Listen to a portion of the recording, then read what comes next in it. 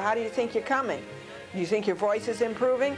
And Paula says, maybe, but it isn't cured yet. And Pat told his little friend that his big sister was putting lemon juice on her face to give her a good complexion. And his little friend says, ooh, that's what makes her a sourpuss. And Pamela says, this is my husband's enthusiasm stew. It's enthusiasm stew because he puts everything he has into it. And Harriet says to her mother, Mom, you know that vase that's been handed down from generation to generation? And her mother says, yes. And Harriet says, well, this generation just dropped it.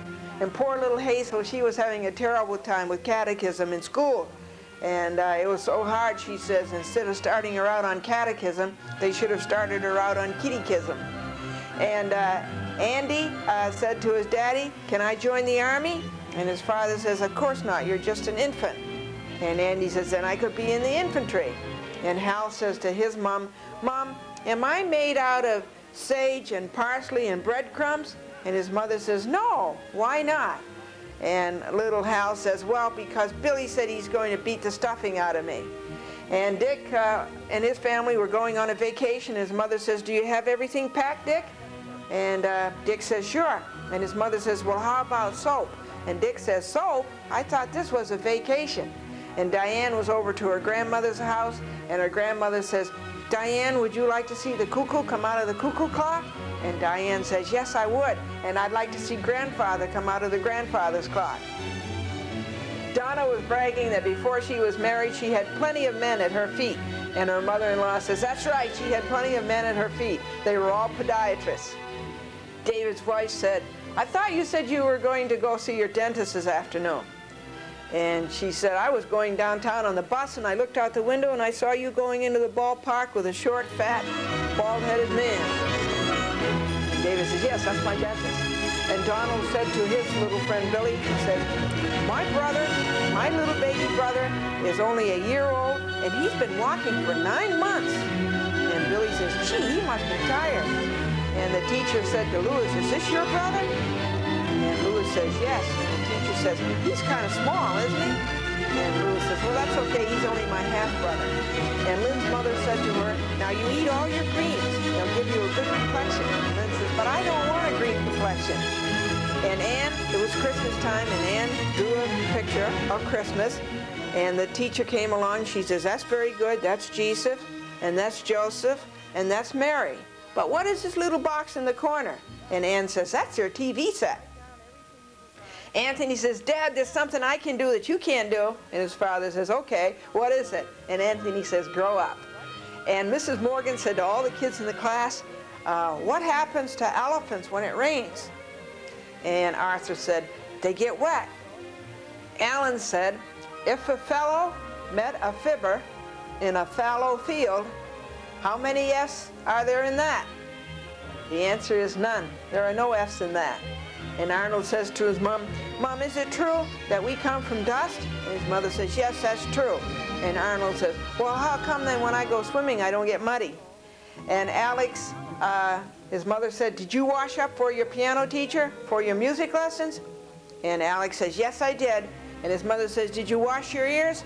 And Alex says, yes, I washed the one that's next to my teacher. This is. I see. Uh, and so how many years did you uh, operate these 7-Eleven uh, stores? 16 years. I bet you thought that was pretty uh, enjoyable. Well, it was a lot of work, a lot of travel. Yeah. A lot of interesting people and a lot of interesting places. Yeah, but the challenges, you, uh, it was nice to meet the challenges and win them. Yeah, that's right. Now, Jody, uh, after that, what did you do?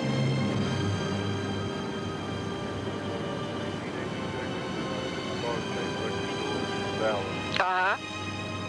Uh-huh.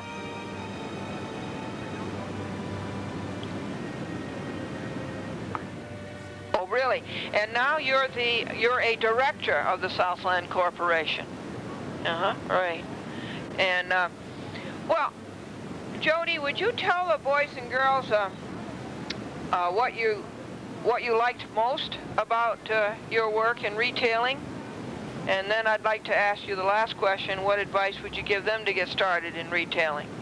Well, I think uh, the interesting part about retailing is, is meeting a lot of different people. Yeah.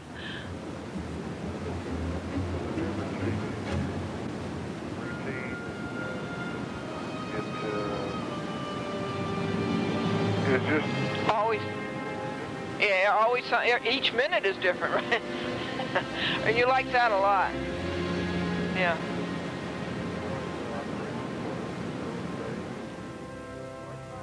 overseeing the, the, the different staff positions that I already had mentioned. But uh, uh, as you said, I guess my general business background uh, was very apropos. Yeah, you always uh, seem to be orientated to business. That's nice. Now, Jody, how would a youngster get started today in retailing? What would you say? Saying you were starting out again all over, how would you do it? Well, I think retailing is is, is like any other type of business in that it requires a, a certain amount of hard work and uh, a certain amount of stick to it. This, that's the word. Yeah, yeah.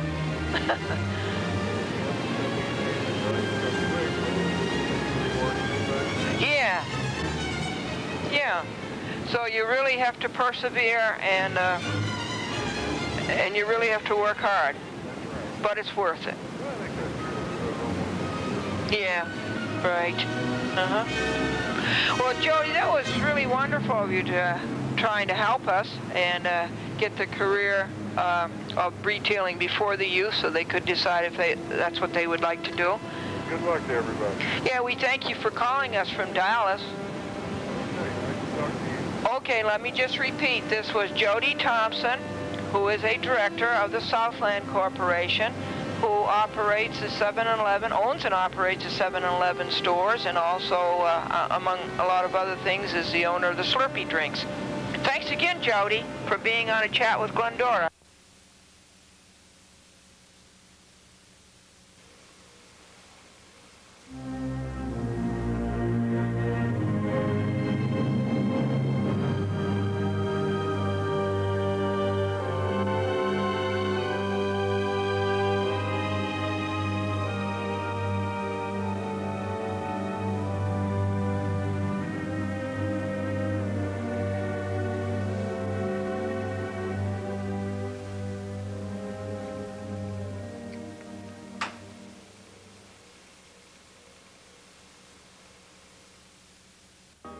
Boys and girls, would you like to be a banker?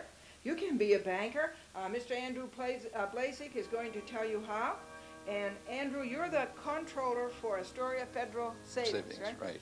Would you just tell the boys and girls about Astoria Federal Savings? Oh, we're a savings loan in Queens. We have three billion dollars in assets. Wow, really? That's a lot of money. Yes, it you is. could never count that on. And Not a one- penny. And my, right. My job is to make sure that the money stays in the bank and is Yeah. applied properly to. Oh, yeah, that's interesting, isn't it? Right. Hey, How'd you start out at Astoria? Well, first of all, tell us where you were born. I was born in Yonkers, New York. Yonkers, uh-huh. Born and raised. And- And uh, I went along to uh, school, uh, grade school and Grade school in uh, Yonkers? high school. Uh-huh, uh-huh, and high school? Went to Salesian High School in New Rochelle. Did you? Uh-huh. and um, uh, went to Leicester Junior College in Massachusetts. Where is that now? Leicester Junior, it's not too far from Worcester, Mass. Uh-huh. And we uh, got a job right after college in a savings bank, Yonkers Savings Bank. Yonkers Savings Yep. Bank. Started out as a teller Yes, and that's uh, great. You can do that. Sure. You did it, you can do it. count money all day long. It's a beautiful job. Talk to people, meet all kinds of different people. It's a super job. And your first promotion after teller? I went to auditor Auditor. and shortly thereafter I moved to Yonkers Savings and Loan. Savings and loan, uh-huh. and went to uh, bookkeeper there Bookkeeper. and spent a few years there. And then moved on to Astoria Federal. Astoria Federal. How'd you come into that uh, bank? Oh, I had a good boss who uh, remembered me and, uh, and when he went to Astoria. Oh, uh, from Yonkers. right. What is an auditor? An auditor checks the books to make sure that they're in good order, make sure that the checks are signed and everything is. Oh, that's what the in auditor does. yeah. Good, it's a good job. An auditor looks at figures that are, are unheard of, right? Right, right. Make sure that everything is, is there and they count the money and they check the signatures. When you go to a bank, you have to sign something. And you have to make sure that And that check those signature is- signatures, yeah. Oh, yeah. Right. And then, uh, after your first promotion at Astoria, I went to Astoria as controller and As I've been, controller. been that for the last 17 years. for the last 17 Right. years, And you live in Mahopac, right? Yes, I do. So you go down every day. Now, how do you do that? You go over the Tappan Zee? No, we just come down the Sprain Brook Parkway and actually, actually the Taconic down to the Sprain Brook and Yeah, then across the Triborough Bridge. yeah. And we're right there, Yeah, right across from the Triborough. I don't know why I would ask you, you'd go over the Tappan Zee. I'm sorry about that. That's okay. And, and you're there in about an hour. About an hour. Yeah. When it snows, it takes longer. When it rains. Now, boys and girls, when Mr. Blazek comes back, he's going to tell you what he likes best about being an uh, uh, controller to see if you could aim for that for a career. And then he's going to tell you how you might get started in banking today. And this is a chat with Glendora.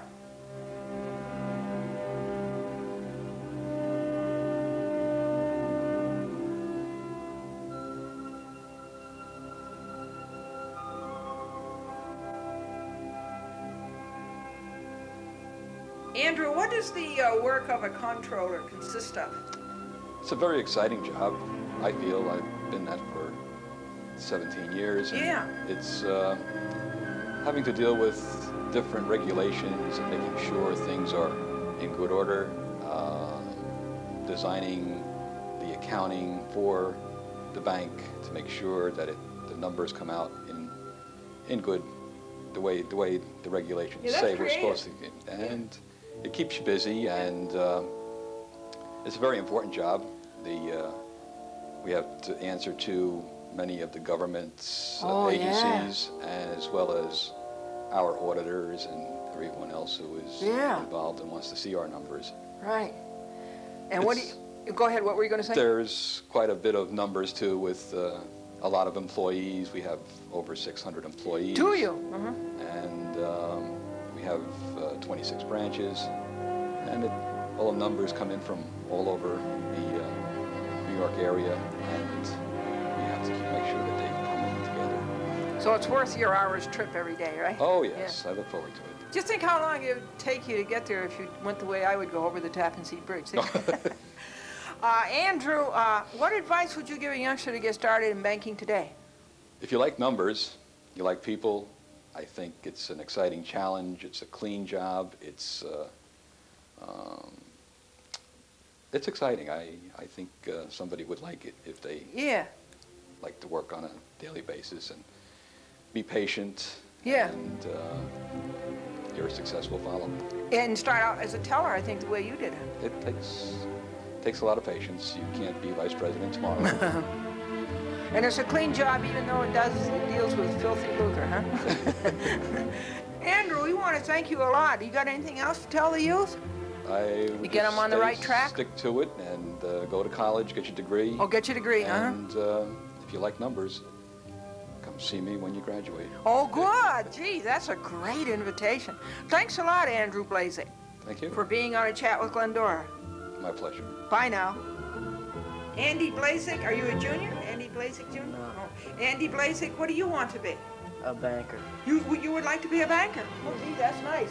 And your sister over here is Diane. Hi, Diane. Hi. And what do you want to be? Boy, you got a good start. I like your hairdo. Beth Blazek, uh, you have a career in real estate, right? Yes, I do. And you like that a lot, do Yes, you? I do. Yeah. How many years you been doing that, Beth? Uh, that's right. About three. Three years now. Well, we, we want to thank you for coming down with the whole family. We had a good time. Thank you for having us. You betcha. Bye, Beth. Bye.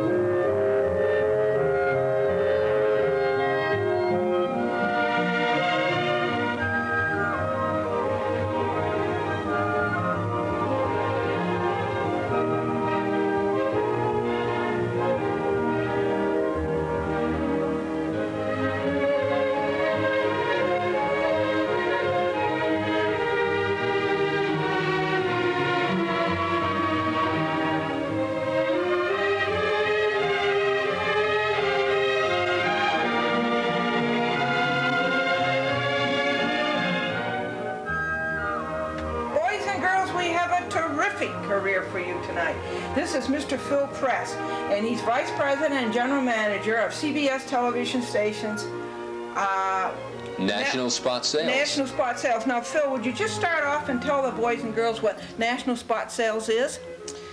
Yes, television stations will either carry local commercials or they will carry national advertising commercials, Like uh, Nestle's would take as an example. such as Nestle's, Okay. Kraft, Yeah. Uh-huh. Toyota, Uh-huh. and we sell advertising for the five CBS owned and operated television stations, soon to be with Miami. Um, and we sell them advertising time. That's what you might mean by CBS television stations. Correct. The ones that the CBS owns and operates. Correct. Now, Phil, they are where? There's one in New York. One in New York, Los Angeles, Chicago, Philadelphia, and we're waiting for approval on Miami. On Miami, then you'll have five. Then we'll have five. Oh, I think that's terrific. Phil, where were you born? Actually born in Brooklyn. Were you really? Yes, born in Brooklyn Uh-huh. and uh, raised there. And uh, took an early liking in the late 50s and early 60s, which to these kids sounds like ancient history. Uh, wanted to be a disc jockey You did? and uh, decided to choose a college that specialized in communications and went to College for four years. In Boston. In Boston. That's a wonderful. It is. And uh, after that, I landed a job as a disc jockey up there and also worked at a television station producing programs. What station was that, Phil? Uh, WHDH, which is no longer in existence, now WCVB in Boston. Yes. Channel 5. Channel 5. I went on to do some graduate study at Boston University in cinematography. You did? I wanted to be a major motion picture producer. In the School of... Um, a School of Public Communications. Yeah. And um, after doing that, uh, landed a job in Portland, Maine, producing and directing what, the TV station? at a TV station,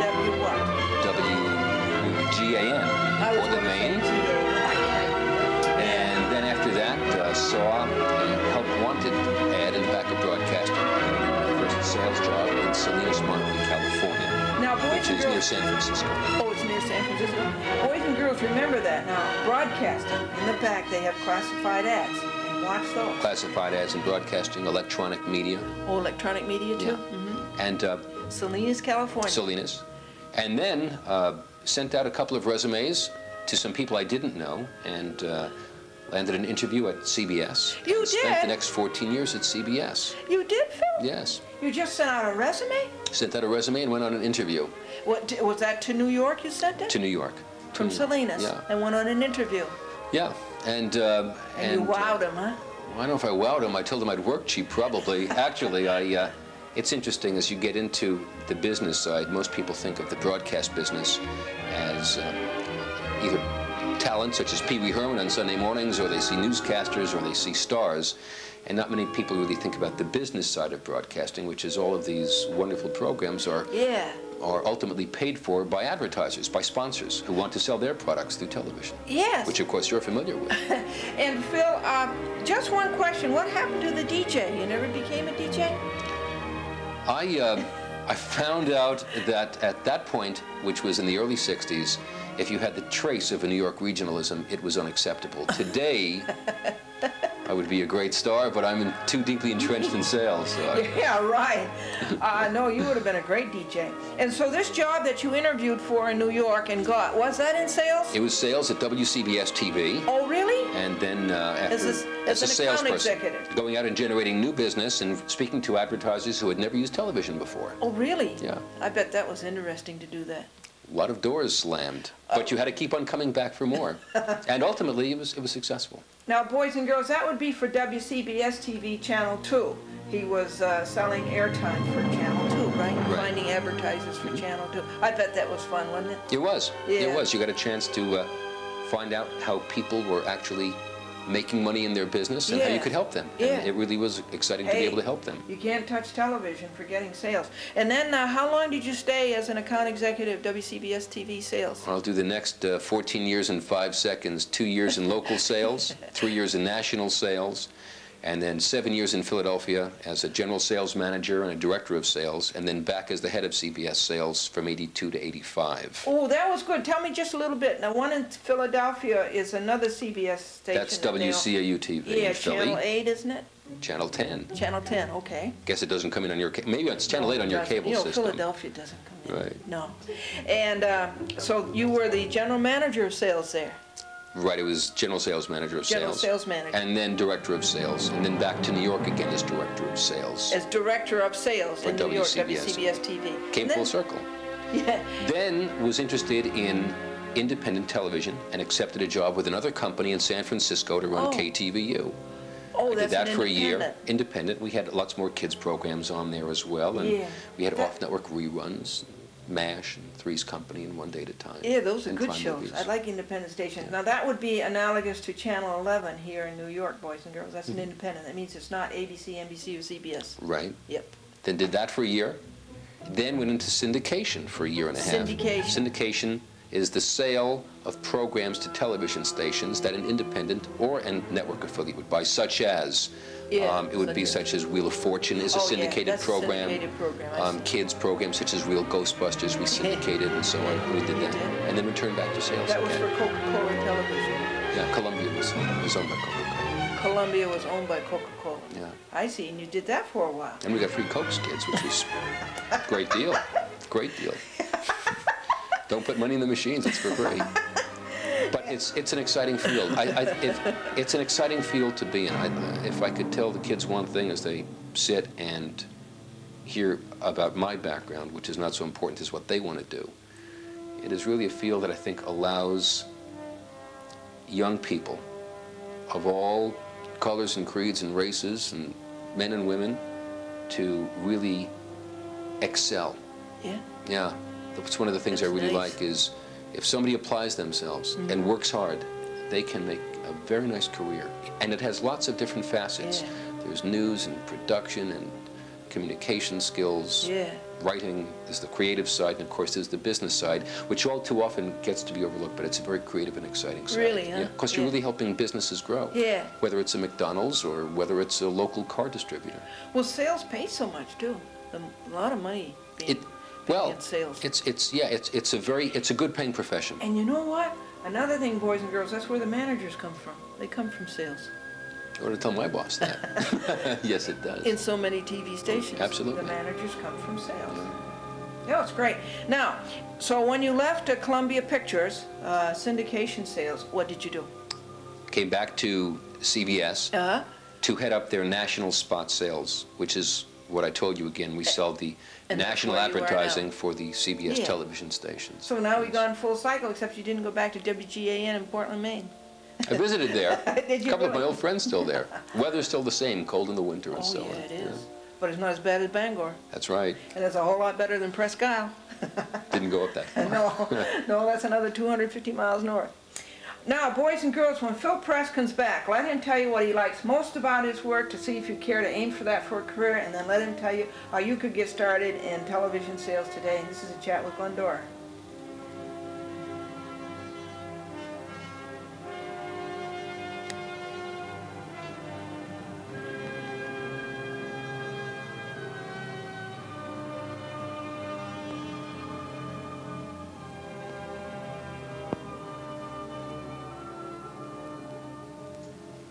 Now, Phil Press, what do you like best about your work? The part that I like best about it is that it enables me to um, make businesses successful, uh, to deal with people who are uh, at the very top levels of the advertising profession, the Yeah. creative people, the business people, the clients themselves, uh, and also to get to select people who will be successful in the future. Really? Yeah, I get to select a lot of talent. There are, uh, we have nine offices around the country, three of which are headed by women. Really? Yes, yes. Uh, it's a very good field for, uh, for, uh, for women, for female account executives. That's very to go into managers. Yeah, That's really uh-huh, terrific. uh-huh, Um, the other part that I think is nice is we have several entry-level positions which allow us to take some of our sales assistants. Those are Truly? the people that would be referred to, I guess, as the uh, super secretaries, but they're really sales assistants because they help the salespeople Yeah. with their clients. They help them in contact. They Yeah. place orders. They check on the schedules where they're running. They make sure that the clients are doing well. They're in contact with the advertising agencies. And for the ones who come to us from there, which are generally the entry-level positions in, Yeah. our, in our business, Yeah. Those people have the opportunity to grow to become entry-level account executives. As a matter of fact, we're in the process of promoting two people to that right now. Oh, really? Yeah, that is great. It is. And do you like to travel and seeing all the interesting places? Um, yeah, the airline food, kids, isn't that good. Don't don't be fooled around and pasta's pasta. But it turns out that uh, it turns out that the travel is nice. You get to go to different cities. Again, you get to see people from all over this country. Yeah. You get to see people who are really involved in in in the advertising business, in the creation of commercials, in marketing, marketing meaning the sale of products, uh, uh, merchandising, uh, creative people as well, people who are merchandise managers who have to fight for shelf space, who want to uh, get their brand more exposure than a competitor's brand. So you're really Oh, helping yeah. quite, quite significantly in terms of dealing with the business of America, which sounds a little remote sometimes for kids who basically see television as the next show and the next commercial on the air. but there's a whole other other side of it that I think is really fascinating and a, and a very exciting field to be in. Sounds great, Phil. How's a youngster get started today to be a TV salesperson? Uh, become a lawyer. Only kidding, kids. Uh, I think actually what's I think what's really good about the business is you can come to the advertising business from a number of different ways. I think you can either enter uh, at the advertising agency side, whether you're a receptionist who's working creative director. It's better, I think, to start on the media buying side. That's the that's the department in an ad agency that actually makes the decisions as to whether a client will be appearing in newspaper, or radio, or television, and on what stations, and in which markets. And I think in terms of learning that, you probably are able to uh, to gain a, a solid footing of research, which is more and more important as people have more and more options in terms of what they'll watch and where they'll watch it cable Uh, the other part that you can do is to actually start at an entry-level position at a television station. More easily done in a small market than in a large market, although there are people who come on board in large markets and get sales assistant positions, which demand some secretarial skills, phone skills are, are important. Interpersonal skills, getting along well with people, being well-mannered, being well-spoken, uh, having a college degree is great. A lot of people major in communications, but I think probably as important as that, majoring in business would be terrific, and perhaps getting a part-time job Well, I think the way you did it was pretty good. Yeah, went around in small markets, started out in You, small markets. you answered that ad in broadcasting. Yeah, that's another way. And you didn't have a whole lot of experience in sales. No, I didn't. Yeah. But I knew how to make commercials, such as you know how to do. And I figured if I knew how to make commercials, then I could sell commercials. Sure. And so that was how I contacted you. Sure. Well, listen, Phil Press, we want to thank you a whole lot for coming up after your hard day's work and talking to the kids and trying to help out. Don't give up. Pursue what you want and be the best at it, and you'll be successful. Whoopee! Phil Press, thanks again. Thanks, Glendora. Now let's see, it's uh, Vice President and General Manager, CBS Television, So Net. Spot, Network Spot Sales. National Spot Sales. National Spot I'll be back Sales. next week, and Glendora will have the words exactly right. Take care, Thanks. Phil, and thanks again for being on the program. Okay. Bye now. Bye.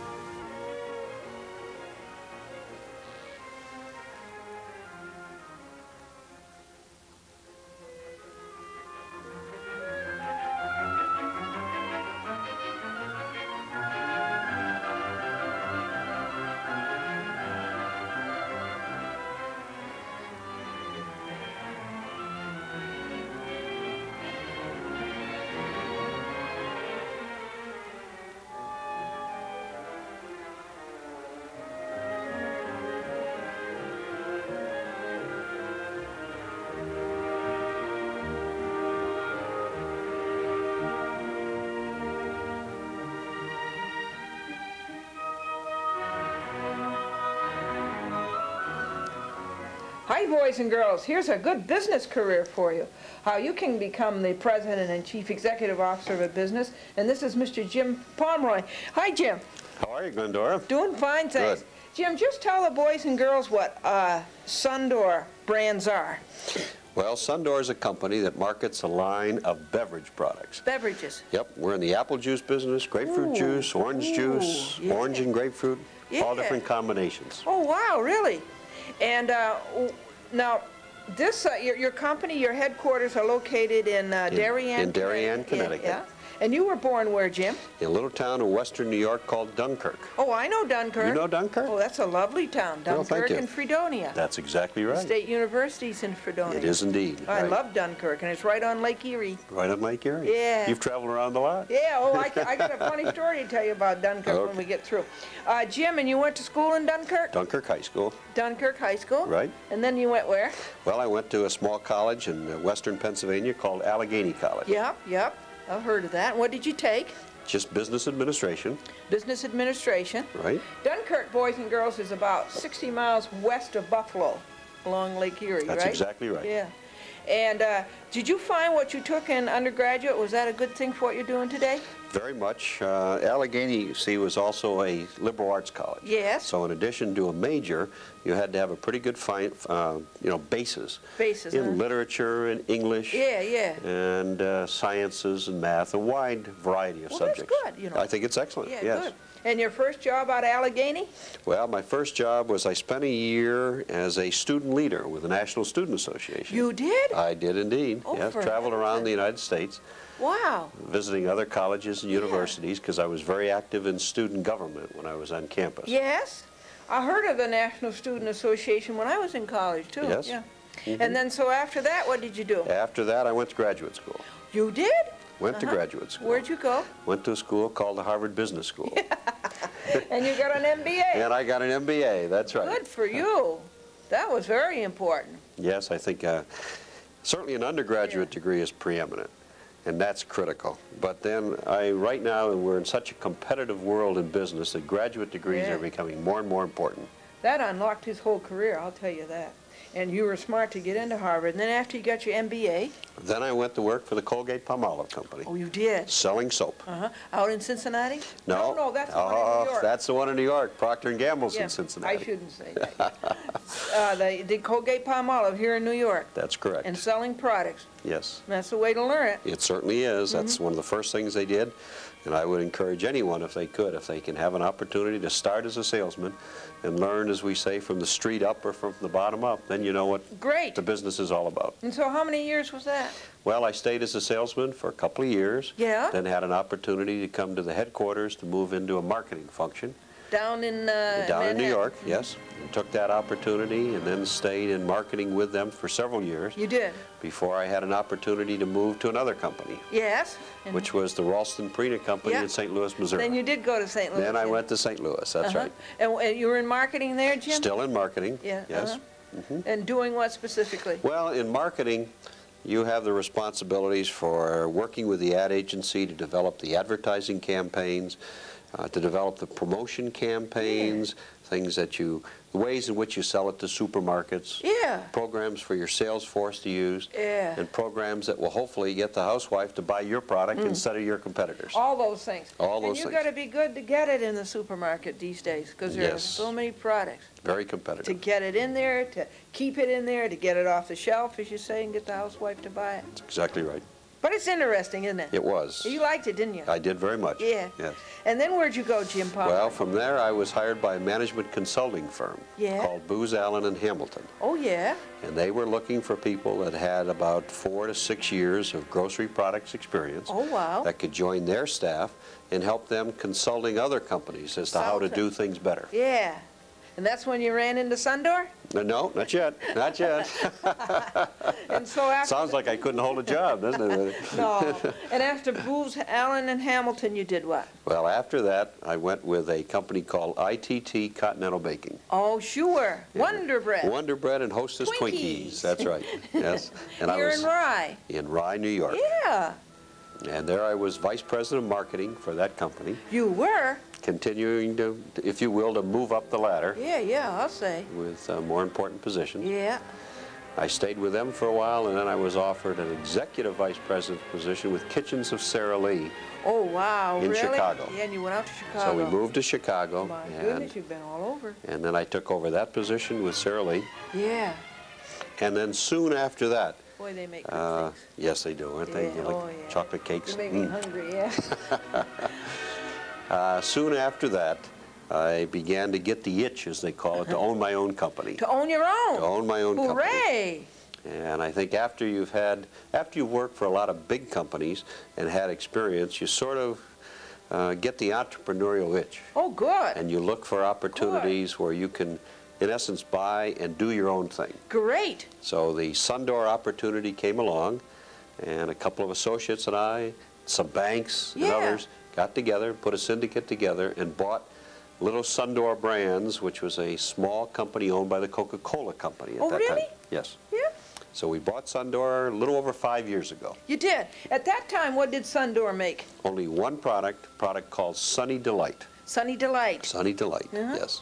That was a, a drink, a cool It drink. was a, called, it's a Florida citrus punch, Uh-huh. and it's a blend of orange, tangerine, and lime juices. And then you expanded it to all these other products. That's right. How many do you have now? 135. No, truly? 135 Wow, products. yeah. really? We bought uh, five companies since then and uh, developed new products and line Oh, extensions. good for you. And have, well, we started the company was about 40 million. It's now about 250 million. Oh, good for you. So I it's think- gone well. Yeah, I We've think that's pleased. great. That's creative, isn't it? You really feel the satisfaction. It's very much so, Yeah, yes. you took it from one to hundred and, what was it, thirty-five, forty? From 45 to 250. No, no, I meant products. Oh, products, yes, Yeah, one to product. 135. Yeah, one to a hundred Exactly right. right, and then all those dollars. Boys and girls, when Jim comes back, let him tell you what he likes most about owning his own company, and let him tell you how you could get started in a marketing career today, and this is a Chat with Glendora.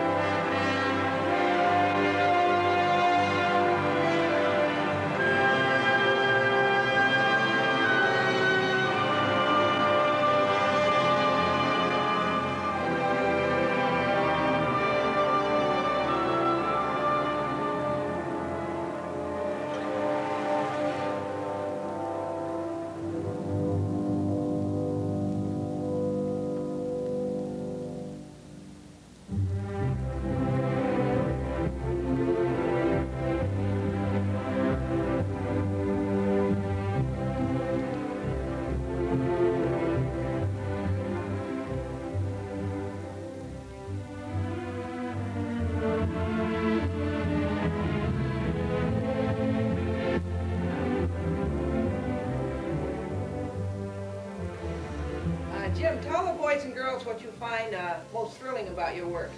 well, there's a lot of things thrilling, Glendora, but I think probably the most exciting part is the constant challenge and the fact that, frankly, you're looking only to yourself and your own ideas and the motivation of others that work with you to get that job done. Oh, boy, yeah. And that's very exciting when it's kind of when you're your own boss and you know that the success of your business is dependent upon your leadership, your ideas, your drive, and your hard work. It's challenging, but it's also a lot of fun. You betcha it is. Oh, yeah, that's a thrill. Now, Jim, what advice would you give a youngster to get started in a business career today? Go right straight to the top the way you did. well, uh, you know, the, the easy ones, of course, are to say hard work, but let me, let me be a little more specific than that. First of all, I think it's very important for, to have a college education. Absolutely a prerequisite is a college education. Then after college, I wouldn't worry about graduate school right away. Instead, what I would look for is the opportunity to go to work for a large, very reputable corporation where you'll get good training, an opportunity to see how a big company works, to have a variety of opportunities open to you, which any big company will give you, and to take advantage of their training programs and their management development programs. Obviously, in the big company, then, you want to work hard, because if you do, you'll be recognized and have other opportunities. Really? And as things develop and you become more exposed to the different areas of the company and find the kinds of things you like best, then pursue it. Once you know that, that's the time to think about additional education. Oh. For example, if you like accounting and you say, boy, that's for me, I want to become an accountant, fine, you can go back, get your MBA and major in finance and accounting. Or let's say you like sales and marketing. Well, you may want to go back and become, you know, and get your MBA in terms of marketing and sales emphasis. Makes a lot of sense. Yeah, or if you're technically inclined, you may decide, gee, product development, quality control, manufacturing, things of these areas are interesting to me. Well then, your advanced education will focus in that area. Really? Then come back into a business situation and start working your way up. Yeah. Oh, that's perfect. Jim, we want to thank you very much for telling this to the boys and girls. I would think that'd be very helpful to them. Well, I hope it is. You know, it was nice of you to have us over. Well, thank you. I've enjoyed it very much. Thanks again, Jim Pomeroy. Bye now. So long.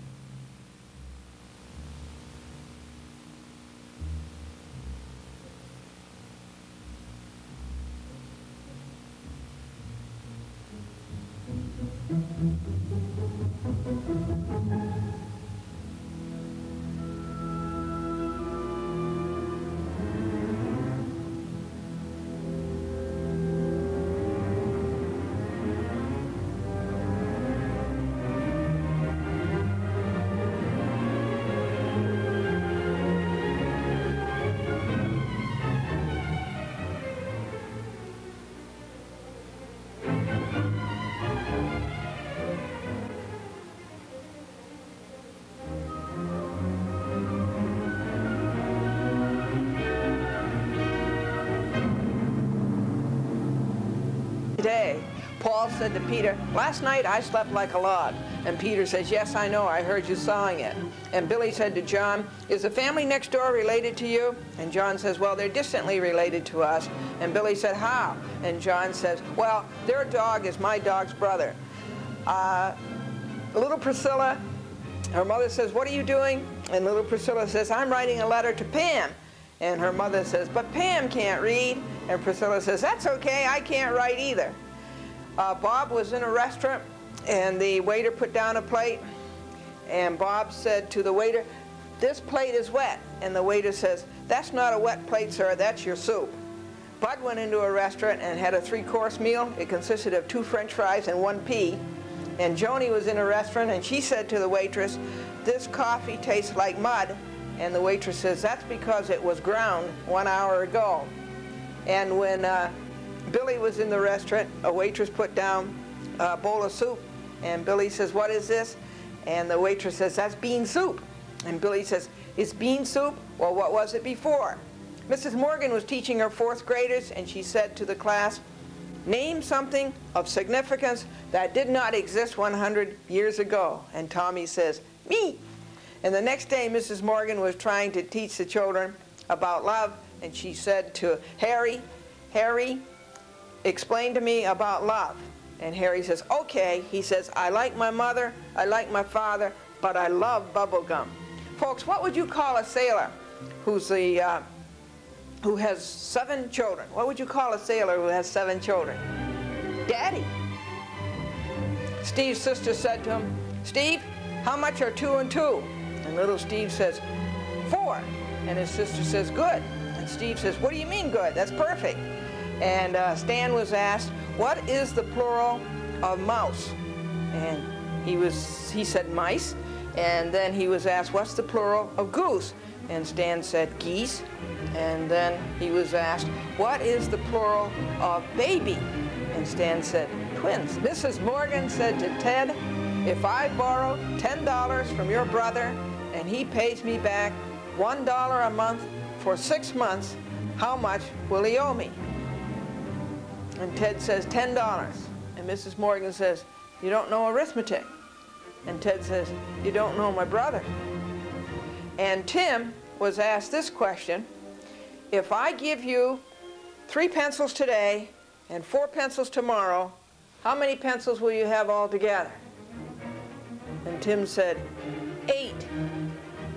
Mrs. Morgan says, why eight? Tim says, because I already have one now. And Mrs. Morgan was getting really upset with the kids. They wouldn't pay attention, and they wouldn't look at her. And so she, she was explaining about a hippopotamus, and she says, listen, you kids, you've got to pay attention. You've got to watch me. If you don't watch me, you'll never know what a hippopotamus looks like. Tammy was, her writing was so bad that the teacher told her to copy a poem 20 times. And so then she handed it to, to Mrs. Morgan, and uh, Mrs. Morgan says, but this is only 17 times. And Tammy says, yes, my arithmetic is bad too. And Jason was asked, which is nearer, England or the moon? And Jason says, the moon, because you can see the moon, but you can't see England. And Joan was asked to draw a picture of a tractor hauling a cart. So she drew a picture, but it was just a tractor, and the teacher says, why didn't you draw the picture of the cart? And the uh, Joni says, because the tractor will draw the cart. And Jane was in arts and crafts class. She was telling her mother, and she says, the teacher didn't like uh, what I was making. And her mother says, oh, well, what were you making? And Janie says, mistakes. Dad says, what do you call the outside of a tree? And his little son couldn't think of it. And Dad says, bark, bark. And Bob says, woof, woof. And Billy was asked, what were the Poles doing in Russia in 1940? And Billy says, I guess holding up the telephone wires. And Brad was asked if he'd read Dickens and if he'd read Shakespeare. No, he hadn't read Dickens. No, he hadn't read Shakespeare. And the teacher says, well, what have you read? And Brad stammered, well, I have read Hare. And Bucky uh, was asked, what birds do you usually find in captivity? And his answer was, jailbirds. And Bill came to school and his teacher said, where were you yesterday? And Bill says, I was sick. And the teacher said, sick of what? And Bill said, sick of school. Uh, European tourists on 57th Street in New York asked a man who happened to be a violinist, how do you get to Carnegie Hall? And the violinist said, practice, practice.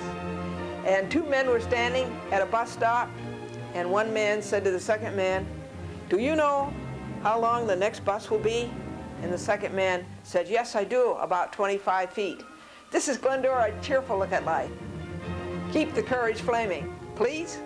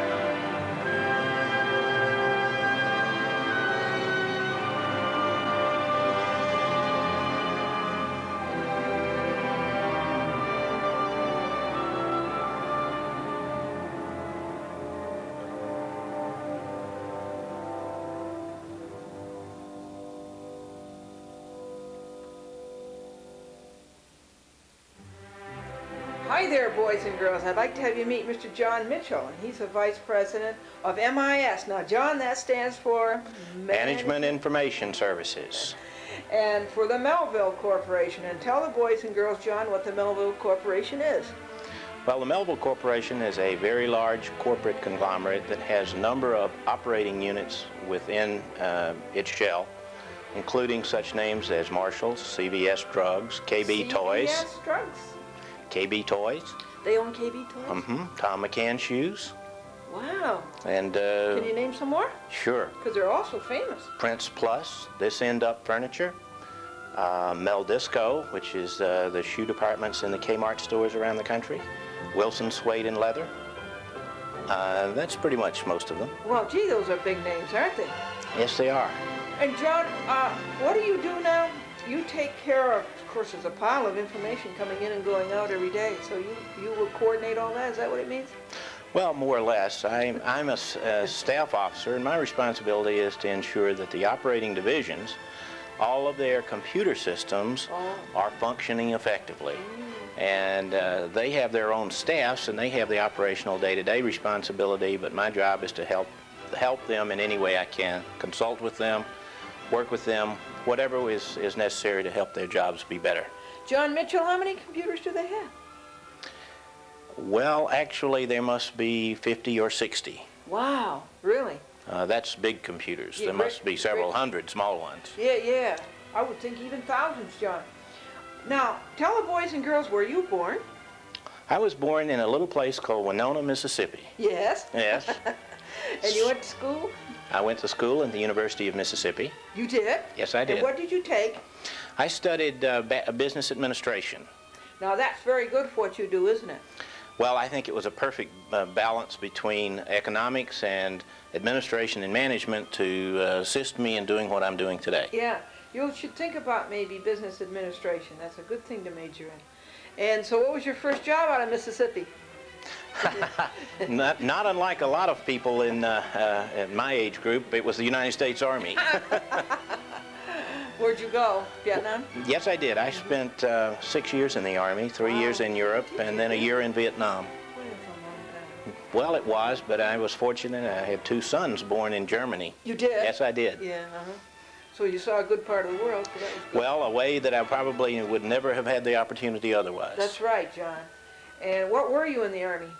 I uh, went in as a uh, second lieutenant and came out as a captain. You did? Yeah. Oh, that's wonderful. You did all right from Mississippi there.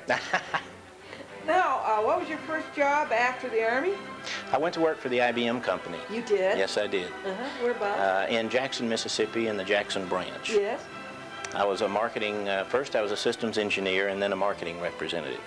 And that's what got you interested in computers? Well, actually, I didn't have any idea that I could get into the computer business. I didn't think I was qualified enough, but the, when I made the application, the IBM people convinced me that I was, and indeed it turned out to be very, very fortuitous for all of us. Oh, good. From Jackson, you went where? Well, I uh, uh, became involved in the retail industry, and I uh, became uh, responsible for the computer activities for the McRae's department stores. Did you? That's a uh, large regional chain uh, headquartered in Jackson, Mississippi. Uh, from there, I went to uh, Carter Hawley Hale stores. Uh, uh, a name most familiar in this part of the country would probably be Bergdorf Goodman or Yeah, Neiman Marcus, uh, who were then part of the. Carter Hawley Hale. And so I went there from uh, Mississippi. You, did you like retail? Love retail. I just think it's the most exciting thing in the world. Uh, the one thing about that is it's always different today than it was yesterday, and tomorrow will be even more different. And so after Carter Hawley Hale, I, uh, I went to Baton Rouge, Louisiana, where I was vice president of MIS for the H.J. Wilson Company, which is a catalog showroom. catalog showroom? Right, mhm. Yeah. Gee, that's interesting. And from Wilson? Uh, then I uh, went to the Zale Corporation. They are in Dallas, Texas, and uh, the world's largest retail jeweler. Yeah, they make diamonds. Yes, or they do. sell diamonds. Yeah. The world's largest retail jeweler, too. Yeah, oh, big, big. And then from Zales, Uh, joined the Melville Corporation. that's when you joined Melville. Yes. And where was that now, that you joined Melville? Was it up here? Yes, right here in the corporate up here, offices. Yeah, right here in Harrison. Right. Harrison, New York. Mr. John Mitchell, Vice President of Management Information Systems for Melville. When he comes back, boys and girls, let him tell you what he likes best about his work and let him tell you how you could get started in uh, management information systems or in retailing. And this is a chat with Glendora.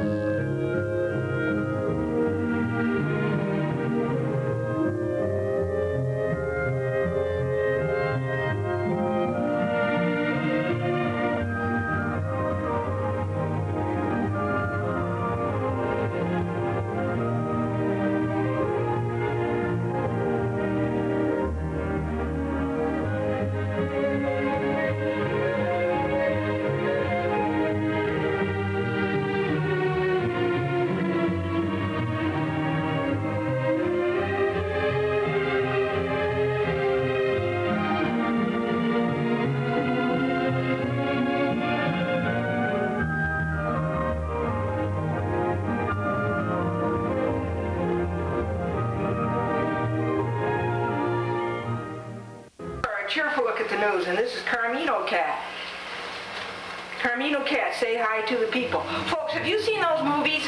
Uh, Rocky 1, Rocky 2, Rocky 3, Rocky 4? They're about boxing. You thought they were about the economy, right? What about that Russian sailor who was going to defect to the United States? You remember off the coast of Louisiana? He was all set to defect to the United States, and then suddenly he was whisked back to the ship. Wonder why he changed his mind about defecting to the United States. Because he saw how much American doctors charge. What do Gorbachev and George Washington have in common? They both have iron teeth. Mayor Koch has finally lifted the restrictions on the drought. But he says you still have to be careful. For instance, he says, quote, let all the dishes pile up in the sink and do them all at once. He doesn't know you and I've been doing that for years. And one man during the drought was asked, what would you do if you were down to your last quart of water? And without hesitation, he replied, I traded in for a beer. Do you believe everything you see and hear on the uh, television news, or do you take it with a grain of salt? Of course, if you're on a low-sodium diet, you can't take it with a grain of salt. If you get married and you live in the suburbs, you need two things. You get married, you live in the suburbs, you bring up the kids. You need a marriage license and you need a chauffeur's license. The girl next door is going to take a course in banking, and I think that's great. She's going to be a bank teller. I'd like to be a bank teller. In fact, I think I should be a bank teller. I belong in a cage. A woman was telling her friend, my daughter has a new boyfriend, and his name is Bell. So the friend thought about that for a while, and then she says, what's the new boyfriend like whose name is Bell? And the mother says, now that you ask me that way, he's a real dingaling. Have you had a cold yet this year? Aren't they terrible? I had one that started here and it went down into the cheek, and it made the whole cheek numb. And I went to see the doctor to try to get rid of this numbness. Of course, what's the first thing the doctor does, because it costs so much money? He took an x-ray. And here he has this beautiful x-ray of the cranium to try to find out what's causing this numbness. So what do you say we get an elaborate frame and a nice brass plate, and we call this x-ray that he took to try to find out what was cover, uh, causing the numbness. What do you say we call it numbskull?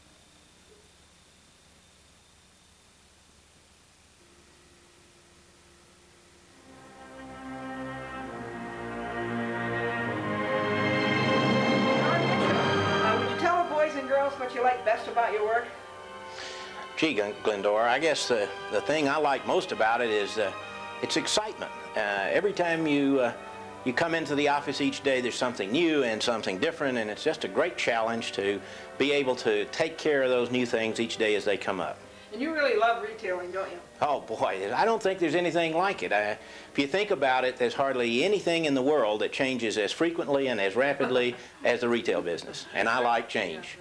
Now, what are those stores again? CVS, CBS, KB Toys, uh, Marshalls, uh, Prints Plus, Wilson Suede and Leather, Thom McAn Shoes, clothes, uh, Linens and Things, uh, This End Up Furniture Company. Terrific. Uh, John, what advice would you give a youngster to get started in your field, uh, which is retailing? Boy, I tell you what, the first thing, Glendora, is you gotta stay in school and get those basics down from your education. That's the most important thing. If you build that basic education, then I think you can go from there.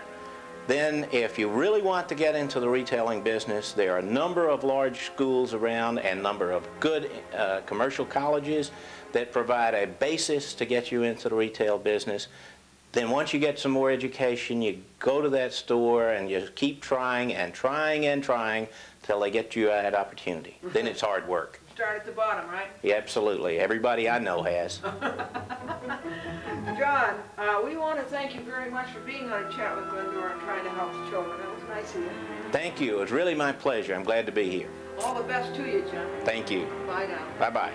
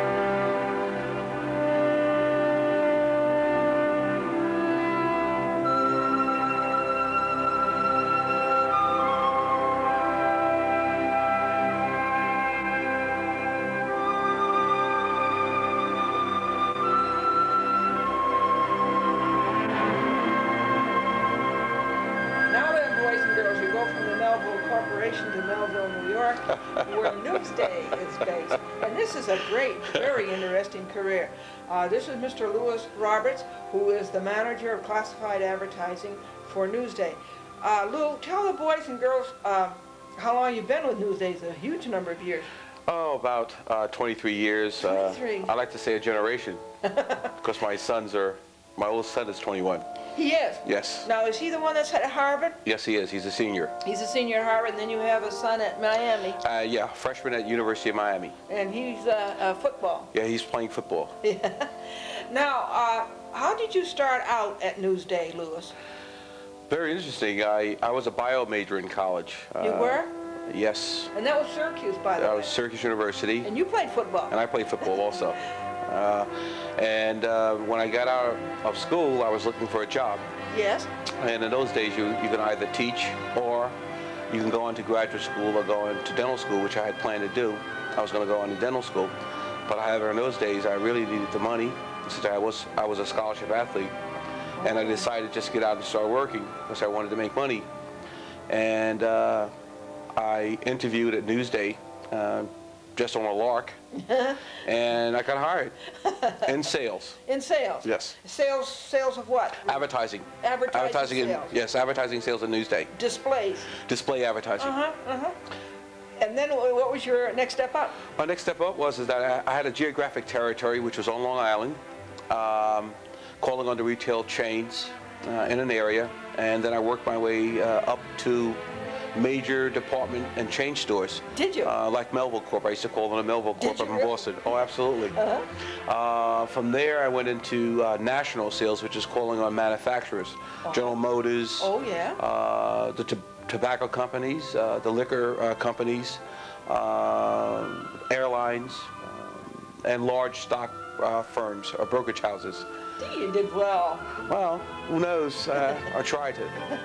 And after that? After that, I went to um, uh, classified advertising as outside sales manager. Did you? Which is managing a group of uh, outside salespeople calling on auto dealers, real estate brokers, uh, and uh, help wanted uh, advertisers, uh, Yeah. such as large firms like Grumman. Wow, yeah.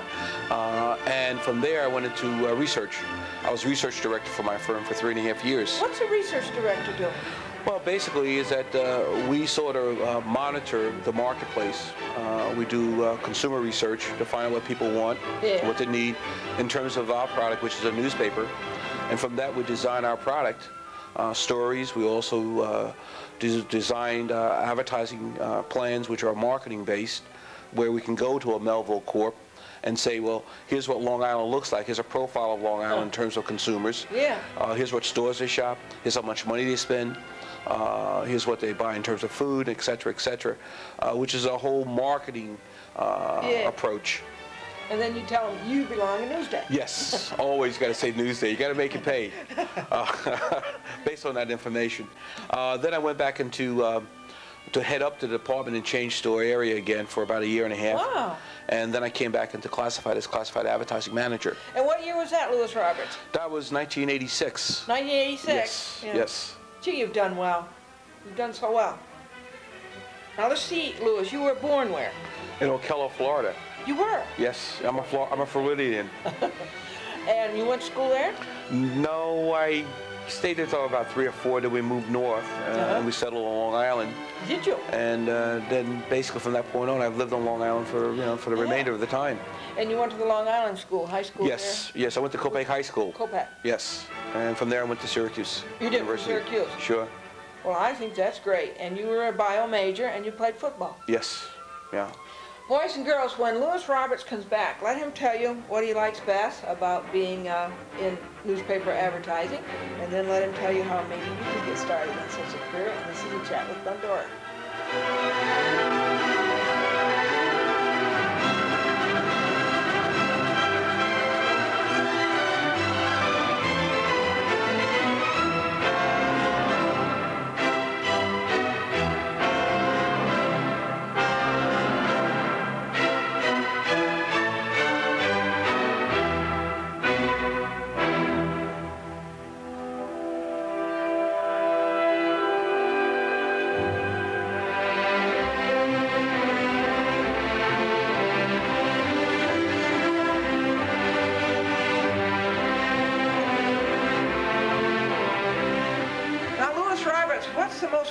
Parts of your work?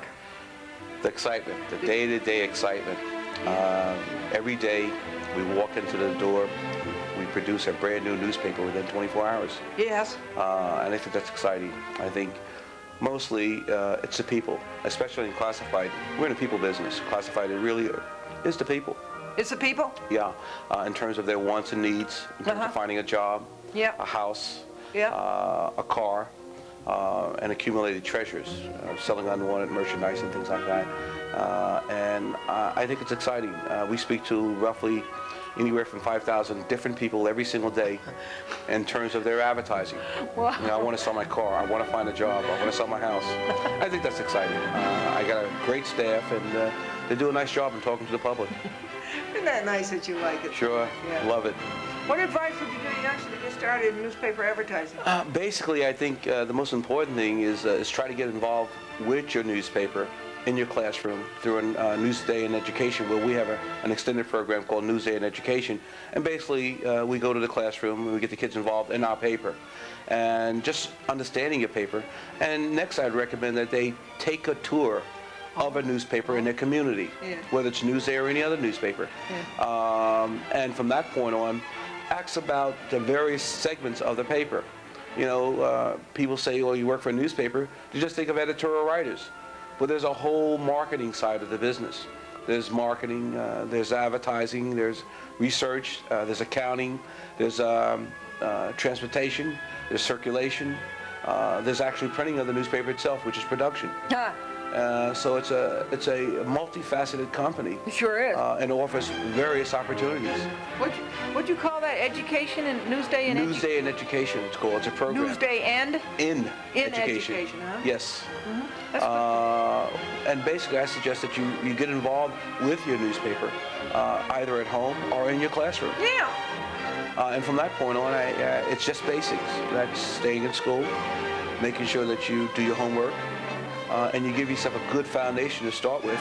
Uh, and uh, then you select a school uh, that basically features uh, a newspaper. Uh, Of course, Syracuse courses. is a good one for that. Sure, the Maxwell School of Journalism. Yeah. Sure, some great ones. Missouri, you got a few good ones out there. Yeah, yeah, Columbia. that's right. Yeah. Uh, you've got a host of good ones out there. Yeah. Uh, and uh, that's what I'd recommend. Uh, also, I, you could just take normal courses, whether it's business courses, Yeah. accounting courses, Yeah. things like that. Hey, you were terrific. You came all the way up here from Nassau County. And now you got to go all the way back. You were great to help the kids. Thank you. I loved it. Did you? Yeah, I loved it. Had a great time. Terrific. Thanks again, Lewis Roberts, who is classified, uh, manager of classified advertising Newsday. Thanks again, Lou. Okay. Bye-bye. So long.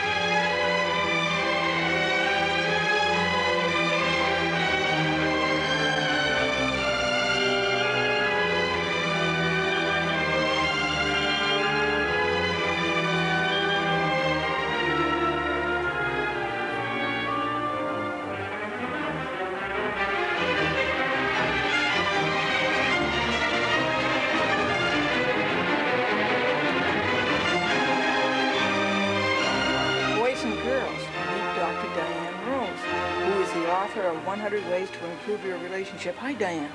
Hi there, Glennie. How are you? Doing Yes. Fine. How are you doing? Uh, Diane, tell the boys and girls about your book, 100 Ways to Improve Your Relationship, and tell them what it's about. All right. Um, it's about, uh, well, do you want to get closer to your partner, lover, spouse, friend, parents? Sometimes you have problems with your parents. What my book tells you is um, it helps you because, well, each of us has about many relationships. So if you think to yourself, uh, which one of your relationships is uh, less than 10? Say it's a 6 or a 7 and going downhill, and that's the one to think about and work on. And you may have 10 or 15 relationships with your friends and people you love. A teacher, teacher too. The principal. Uh, oh, yeah, the principal, absolutely. That's a very important one. And so this book tells you how to get along with them or improve your relationship. That's right. Yeah. And it gives you uh, over a hundred ways. And you can look up in the book, um, you can look up the thing that you think, like for instance, uh, oh gosh, your girlfriend has uh, bad habits.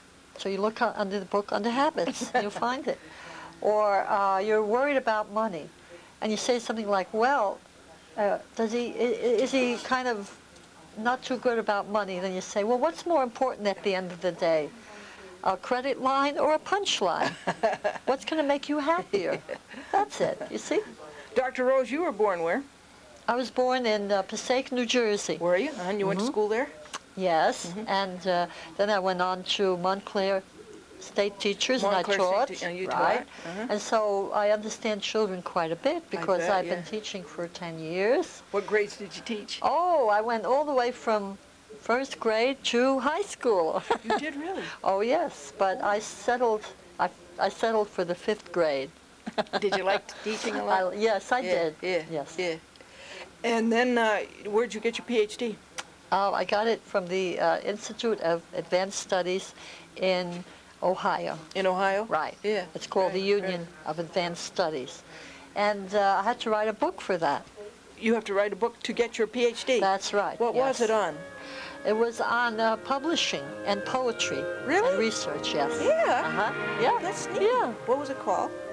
It was called um, uh, Daymares. Daymares. That's very Yeah. good. Well, Dr. Rose, is there anything you want to tell the boys and girls more about your book? Well, boys and girls, uh, uh, I'll tell you, my daughter uh, suddenly stopped speaking to me. She's 18. And I understand this happens a lot. You, you don't want to speak to your parents, or they, they, they all keep saying, uh, you, can, you can always come and talk to me. This is even in the movies. And, and you know, you feel like um, the great divide. You don't want to tell them. You don't want to worry them. There are all kinds of reasons. You see, breakdown of communication, a wall of silence. what are you What are you going to do about this? And this book will help you. It'll help your parent too, because you need your parents, and they need you, especially now. So this is going to be a good book to help you get along with everybody. Oh yes. Well, Dr. Diane Rose, we want to thank you very much for being on a chat with Glendora and telling the boys Yes. and girls about your book. Okay. Thank you very much, Glendora. And good luck, huh? Yes. Thank you. Take care now. This is Chat with Glendora.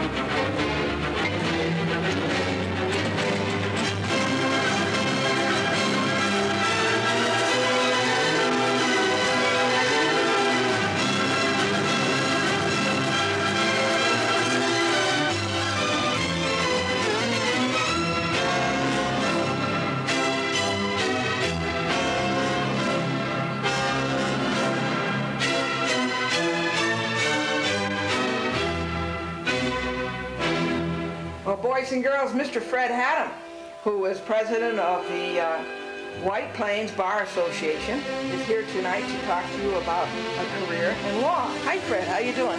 Fine, thanks, Glendora. Good, Thanks for good. having me over. Oh, it's a pleasure. Uh, Fred, uh, you were born where? I was born in Ilion, New York. It's a little town uh, Yeah. way upstate New York. In the center someplace, isn't it? That's right. Yeah. And you went to school where? I went to school mostly in uh, New York City and Brooklyn. You did? Uh-huh. I went to Midwood High School and Brooklyn College. Did you? And then I went to St. John's Law School at night. Oh, you did that at night? That's right. And how were you working during the day when you went to school at night, Fred? Well, I worked as an insurance company representative, and uh, I was living in Westchester at that time, and I commuted uh, uh, at night to law school for three years. Isn't that wonderful? That's a great way to do it and a very hard way to do it. Uh, Fred, um, what kind of law? Well, first of all, when you were young, what got you interested in becoming a lawyer? Well, my mother, got it, mercy on her, said that I always liked getting the last word in. I always seemed to have a sense of justice or a sense of injustice, and uh, if I felt I, something wasn't quite right, I stood up for my rights. Or if I saw someone else was uh, being put upon by another person, I'd stand up for that person. Oh, that's nice. So rather, it was a natural thing for me. It was. Now, where did you go to undergraduate school? I went to Brooklyn College. Brooklyn College. And Took what my pre-law. pre-law. That is correct. Pre-law. And then you went to St. John's at night and got your law degree. Yes, I also did a two-year stint in the Army before that. Oh, you did? So thanks to the GI Bill, I was able to go to law school. Oh, really? This is that wonderful. And Fred, what kind of law do you uh, uh, specialize in? Well, I like to consider myself a general practitioner, and uh, I handle uh, uh, estate matters and corporate matters, uh, real estate. I do not take criminal law because I was with the State Attorney General's office for 10 years. Tell us about that. Well, that was rather interesting work. For about six and a half years, I did anti-fraud work in the Securities Bureau. Yeah. And then for uh, about three and a half years, I was in the Mental Hygiene Bureau. We had a civil commitment program uh, uh, concerning narcotic addiction at that time, and that was really heartbreaking work. Was it? Then uh, after 10 years, I left the State Attorney General's office. I was in private practice with a major law firm handling extensive uh, litigation work in New York City.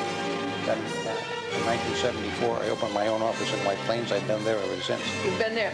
Just tell us what securities is. What's that? You said you did that first in the State Attorney General's office. Well, securities are stocks and bonds. They're evidence of ownership of property. And you've heard about the stock market and that sort of thing, and uh, people that give uh, advice on investments.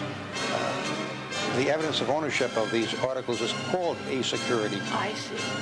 And that's really what is traded on the stock market, and uh, those things are called securities. My job with the Attorney General's office was to make sure that, as best we could, what representations as were made and the offering statements were really correct and nothing consumer was protected. Yes, that is correct. Right. And the, now what was the, uh, the drug program? What was that? Well, at that time in New York, we had a civil commitment program uh, that uh, if someone is alleged to be or claimed to be a narcotic addict, they could be brought into court on a petition in Supreme Court. The Supreme Court justice would listen to the petition and would order a physical examination of a person. If that person, as a result of the medical examination, was found to be an, uh, an addict, then the person could be sent for compulsory treatment of the addiction. Oh, really? We no longer have that program in New York at this so? time. That's no longer. That is correct. I think it's uh, a loss as far as the fight on drugs is concerned, but it was a useful program at the time. Oh, yeah, I should think so. And then, uh, now your law office is in White Plains. That is correct. And tell the boys and girls about the Bar Association, would you?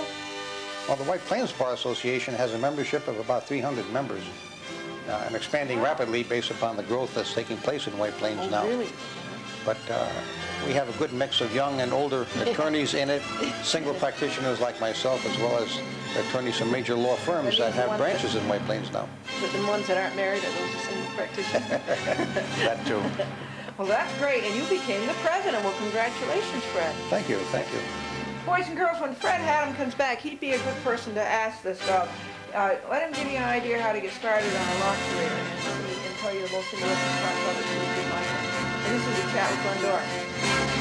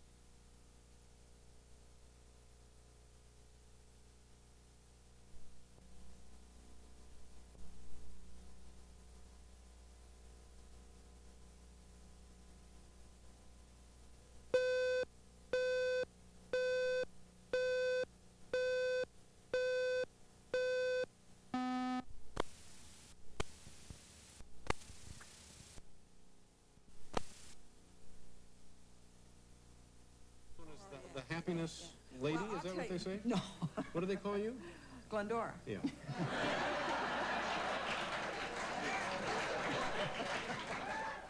This is Mr. Robert C. Wright, who is the president and chief executive officer of NBC, and he'll be. And then, uh, then after the group work, what did you become? Uh, President. You became president. Right. Gee, you've had a wonderful career. And then after that, you became the CEO, Chairman and Chief Executive. chairman and chief executive officer. Oh, I think that's terrific. I like to start new publications. I think that's a lot of fun. and I've had the uh, opportunity to start about three or four, Wow. including Crain's New York Business and Yeah. Crain's Chicago Business, and a publication called Electronic Media.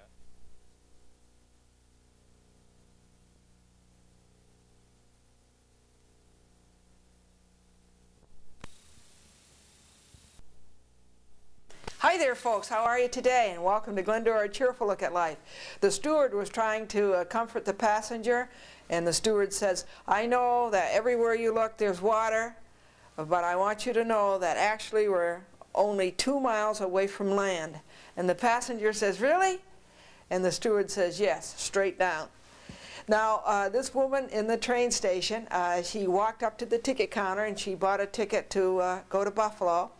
And uh, the clerk says, uh, this train goes to Buffalo in 10 minutes. And the woman says, really? Last time it only, it took eight hours. The mountaineer, uh, young mountaineer, was out with the guide for the first time. And the guide says, that's the next cliff that we're going to climb. And the young mountaineer, he was scared, and he says, wow, do people often fall off that cliff? And the, and the guide says, no, once is usually enough. Mrs. Morgan said to Emily, she says, that's very rude of you to keep reaching across the table and taking cakes. Don't you have a tongue? And Emily says, well, yes, I do, but my arms are longer. A man had a portrait made, and the artist says, what do you think of my portrait of you? And the man says, well, it's just like me. It looks better at a distance. Here's another ad for you in the newspaper. For sale, an umbrella by a lady with broken ribs. Uh, now, on a tombstone, there was this writing, and it said, it, it, by a, it was by a hypochondriac. It was a tombstone of a hypochondriac, and this is what it said on the tombstone. See, I told you I was sick. And a bachelor went into a furniture store, and he says, I want to buy a mattress. And the clerk says, a spring mattress? And the bachelor says, no, I'd like one that I can sleep on all the year around. Uh, Eddie said to his little friend, he says, I see that your father has shaved his beard again. Why, that's the third time this year. And his little friend says, well, it's my mother's fault. She's stuffing a cushion. And Bob said to the professor, the college professor, is it hard to become a professor? And the professor says, no, you do it by degrees. Helen said to Patsy, your umbrella has seen better days. And Patsy says, yes, it's had its ups and downs. And Paul said, Dad, what's a Grecian urn? And Dad says, oh, about $5 an hour. The pastor said to Billy, if you found a dollar, would you keep it? And Billy says, oh, no, sir. And the pastor says, good. What would you do with it? And Billy says, I'd spend it. Folks, what's the opposite of a cock-a-doodle-doo? A cock-a-doodle-don't. Now, John said to his employee, I saw you arguing with that customer. And in this store, you never argue with the customer. Is that clear? And the employee says, yes, sir, that's clear. And the boss says, now, what were you arguing about? And the employee says, he said you were an idiot. What is the longest word in the English language? Smiles. Between the first letter and the last letter is a mile. And Mrs. Morgan was teaching the children about various plants, and she says toadstools are found in damp places. And Bobby says, oh, he says, that's why they're shaped like umbrellas. Now, what is out of bounds? Mrs. Morgan says, what does out of bounds mean? And Teddy says, out of bounds? That must be an exhausted kangaroo. And little Billy did not like to hear his, sing, his sister practice her singing. It kind of got on his nerve. And he says, sis, I wish that you would sing only Christmas carols. And his sister says, really? Why? Billy says, because then you'd only have to practice once a year. Careful look at life, folks. Keep the courage flaming. Please?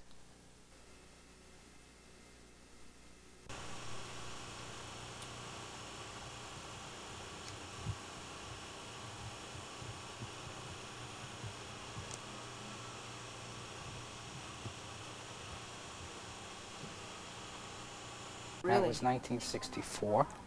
And one of the first shows that I worked on was the Gemini space launch. Oh, really? And it was ironic that it was at NBC, and I worked for that company um, for a couple of years up until 1970. Um, I came out of the service, the United States Army. I came back to work for them, worked from 1967 through 1970, working as a service company to NBC News. Oh, really? Sports, yeah. entertainment. Oh, great. And I really learned the production side of the business of television. Oh, that's terrific. And how art could apply to it. Yeah. And then I took a break from 1970 through 75 to be a professional musician. Traveled around the United States. came back, went back into freelance again, freelance art. Um, came back to NBC News, working the night shift as a freelance designer in 1977, and got onto the staff in another year. You did? Uh-huh. 1980, I went on to NBC Nightly News. Ooh. Worked there as graphics director and held that for three years. You did? In 1983, I joined management Yeah. here at NBC, and here I am. Oh, isn't it wonderful? What a nice career. And you did so well uh, telling it uh, to the boys and girls, and you did it so in a nice, orderly way. The thing I was trying to think of is, uh, uh, what do they call that? Oh, Come on now. yeah. Chroma key. Right, That's the word I was looking for, chroma key. right. Uh, Ralph, uh, when you come back, will you tell the boys and girls what the most exciting parts of your work are? And would you tell the boys and girls how they might, as artists and with an artistic bent, uh, get into a nice paying job where they can use their artistic talent, for instance, in graphics and uh, in on TV? Would you? Love it. Oh, thank. And this is a chat with Glendora.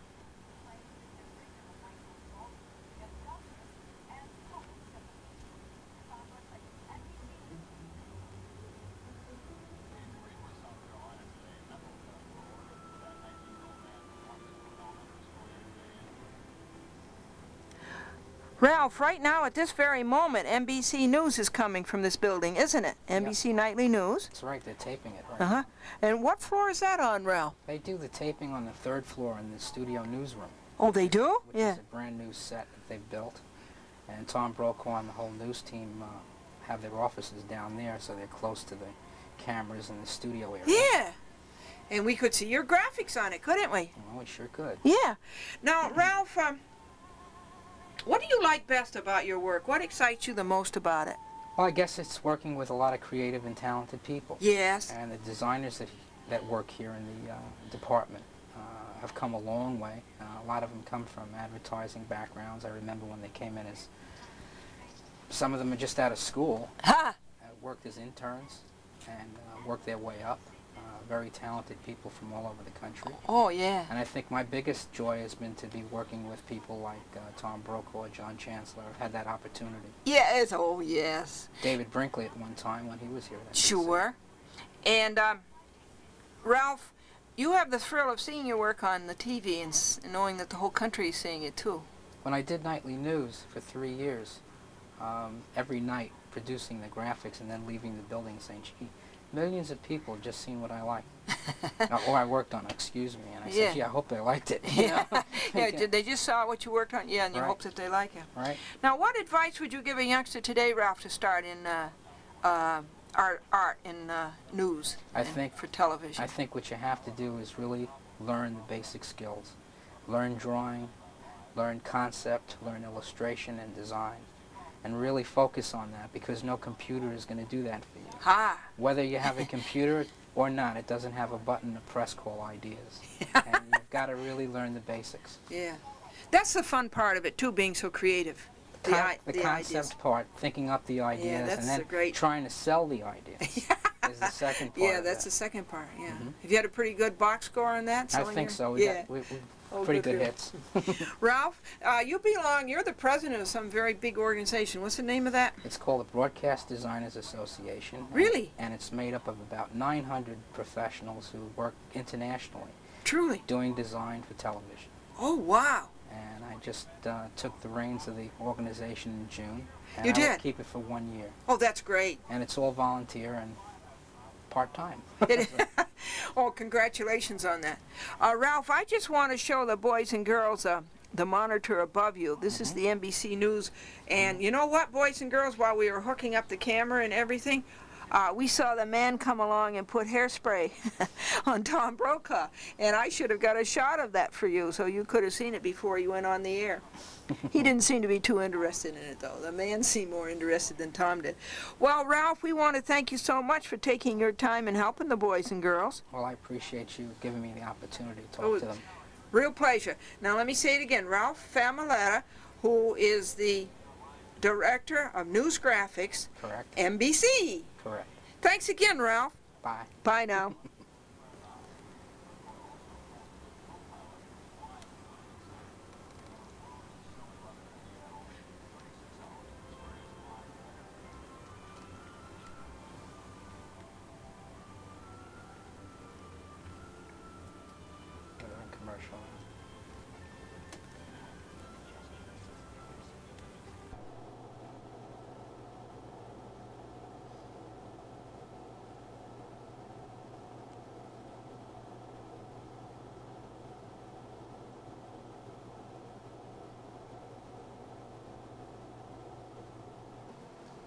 Hi there, boys and girls. Would you like a career in stocks and bonds, being a broker? This is Mr. Ben Edwards, and his great-grandfather started uh, A.G. Edwards, right? That's right. Tell the boys and girls about that, Ben. Well, if you want to be successful in life, it helps to have your grandfather start a business and your father uh, be the boss when you go to work. Uh, really, though, kids, I found when I, I got out of the Navy and, and went to work that uh, I was uh, almost a, uh, uh, a disadvantage because people thought that uh, I was going to receive favorite retreat, uh, treatment. Yeah, uh-huh. But uh, I felt that if I worked twice as hard as anybody else and, and performed, they'd get over being the boss's son after a while. And they did, didn't they? They did, yes. And A.G. Edwards, now, what did your what did your grandfather start? What kind of company is that? We're a stock brokerage firm. We're members of the New York Stock Exchange. We have 360 offices in uh, all the states except uh, three. We have 47 states. Wow! And that was your great-granddaddy, Back in 1887, 1887. we Isn't celebrated our 100th birthday last year. That's right, you did indeed. Now, you went to school where, Ben? I went to school uh, in St. Louis and went Uh-huh. on to college at uh, Princeton University. Oh, that's a good one. And what did you take as an undergraduate? I took uh, economics. Economics. That's pretty good for being a stockbroker, isn't it? It, uh, it didn't hurt any. No, it didn't hurt any at all.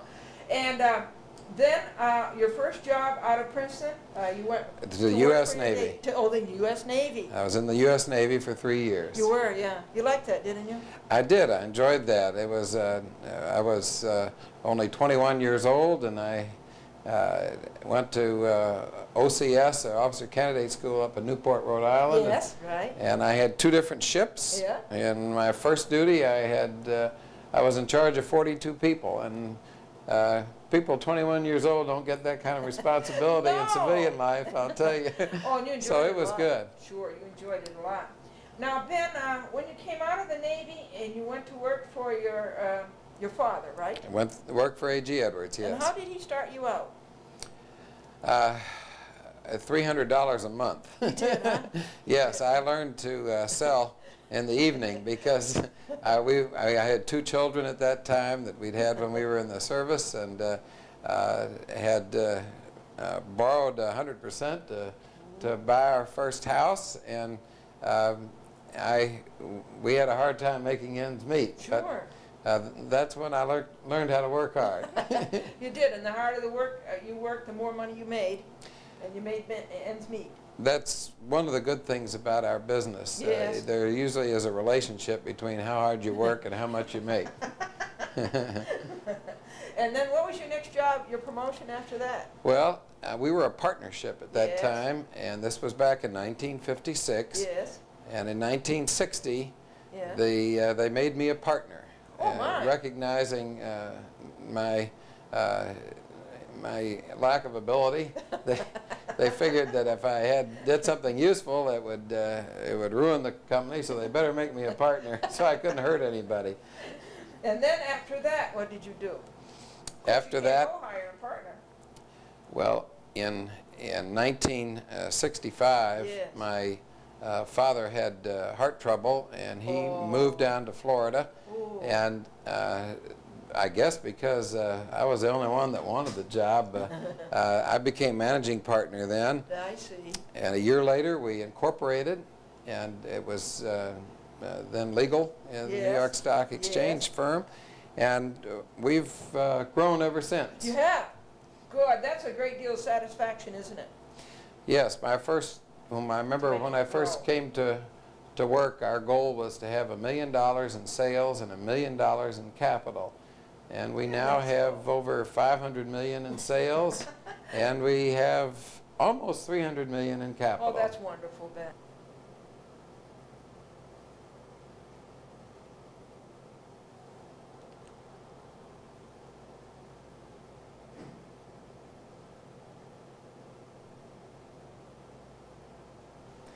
Ben Edwards, could you just tell the boys and girls what you enjoy most about your work? The thing I enjoy most about the work is the people. People. Our people and our customers. Uh, we find that uh, we, we have to make the customers the object of everything we do or if we're going to do a good job for them. And uh, I've, uh, this is, I'm serious kids, I've, I've looked forward to coming to work every day for 32 years now. And it's because uh, we've developed a, an atmosphere of, uh, it sounds sort of corny, but uh, mutual trust in Mutual our trust. company. Yeah. we we're honest and open with each other, and we trust each other, and that that we're open with each other, other, and that's what you really have to have to uh, have a good team. Oh, that sounds great. Yeah. Uh, ben, uh, what advice would you give a youngster to get started in finance today? I think you have to uh, love what you do. You do. and uh-huh. you and you have to work harder than you think. And but the the surprise is that the work is fun. It is. Uh, you're in competition with people who are working hard, just like in sports. Uh, there's always somebody that'll work a little harder in sports and, and uh, run a little faster. In business, you have to really take pride in what you're doing and try to be the best at, at your field. And you can be too. You can be. Uh, you you can't be a superstar in everything. Uh, in fact, we don't have any superstars really. We have any superstars really. We uh, we find that an awful lot of people. We have almost 7,000 employees. Wow. They all have to do their jobs well for us to have a good result. They all have to be good runners. That's right. Yeah. And uh, we try to share, if we make profits, we try, try to share with all of them alike uh, uh, because they're responsible for those profits. Boy, that's enough to make anybody work hard. well, it is a nice incentive. Yes, it is.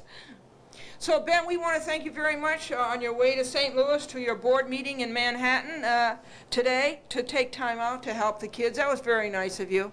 I enjoyed it very much. You came Good to be with you, kids.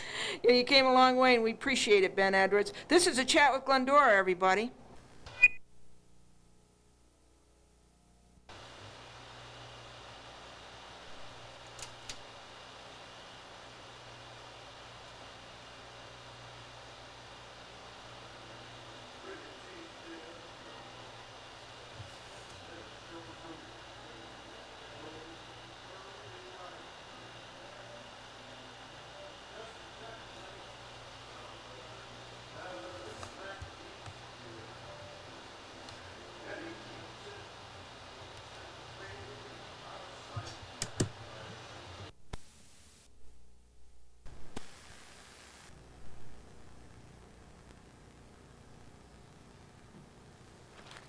Boys and girls, how would you like a career in news, television news? And this is Mr. Lawrence Grossman, who's the former president of NBC News. And Larry, won't you tell the boys and girls where you were born? I was born in Brooklyn, Yeah, New York. good, for you. And you grew up there? Grew up in Brooklyn, right? Uh-huh. And you went to school there? Went to school in Brooklyn. Uh-huh. Where'd you go to college? Went to Columbia, You did? yes, in Uh-huh. New York City. Now, what did you take as an undergraduate? Well, I took a lot of government courses and a lot of English courses and a lot of history and philosophy. That's very good, isn't it, for almost anything? hmm Yeah. Yes, it's very important to get a grounding in knowing where the world came from and uh, get an understanding of some history and some, certainly of politics. And Larry, did you go on to graduate school?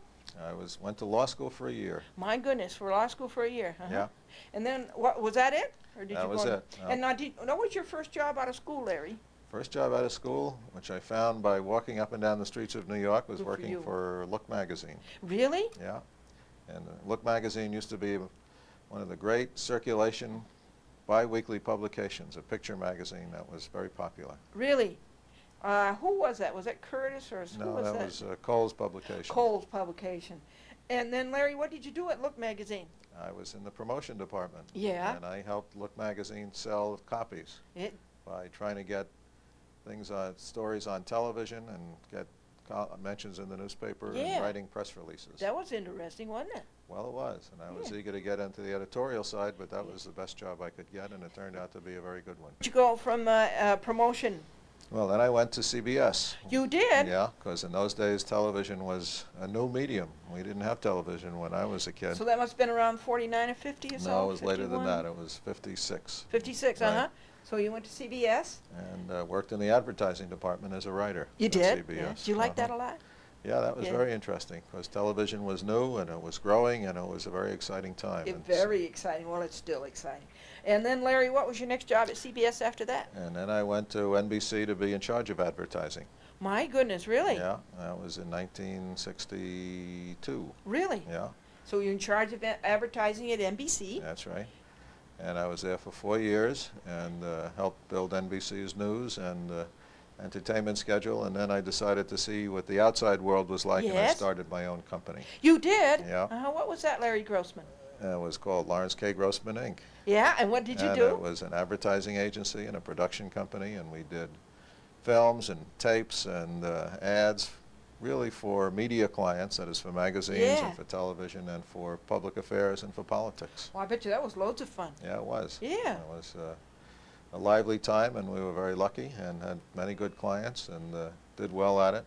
And one of the people that I served in my agency was public television. which Yes. uh, Now you're up to where I remember you. Uh-huh. And uh, they asked me to come, and I became the president of PBS back in, uh, when was that? It was uh, 76. 76. 1976. And for a long time, weren't you there? And I was time? there for eight years. Yeah, Uh-huh. right. I remember Larry Grossman. Right. And I remember Hartford Gunn. That's right. He was the first president of PBS. Yeah, And I was the second, and uh, helped uh, build up public television to a national network and uh, doing some outstanding programs. That Children's programs, right. Sesame Street, Yeah, Electric Company, yeah. MacNeil Lehrer Report. right. And then uh, came over to NBC News to be president. And that's when you became. Now, what year did you become president of NBC News? I became president of NBC News in 1984, just five years ago. 1984, yeah. Mhm. Boy, that was something. Now, boys and girls, when Larry Grossman comes back, uh, let him tell you what he liked both best about being uh, in NBC News, and then let him tell you how you might get started today in a career in news television. And this is a chat with Glendora.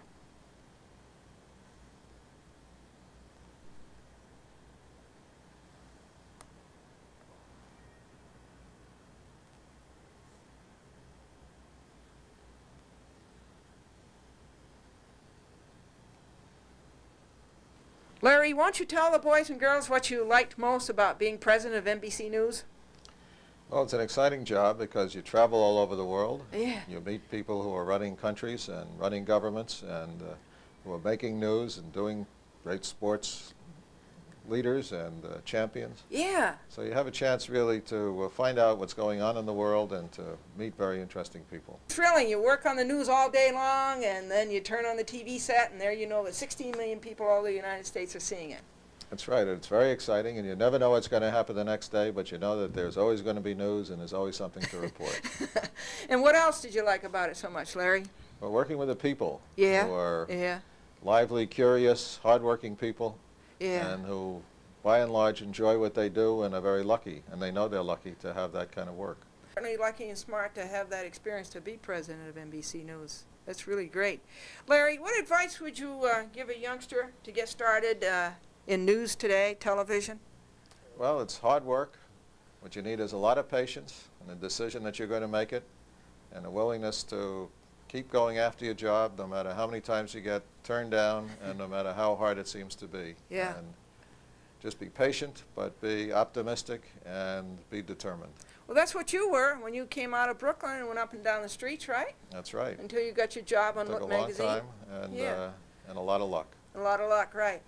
Uh, and Larry, the future in news is pretty good, isn't it? Well, I think more and more people are, are uh, interested in information and service. Yeah. and finding out what's going on in the world. More people are traveling. So yes, it's a, a greatly expanding enterprise. And uh, anything else you want to say to the youth before you leave us? Well, again, I wish everybody a lot of luck. It's going to take hard work, and you just have to have confidence in yourself and a determination to do what you think is right.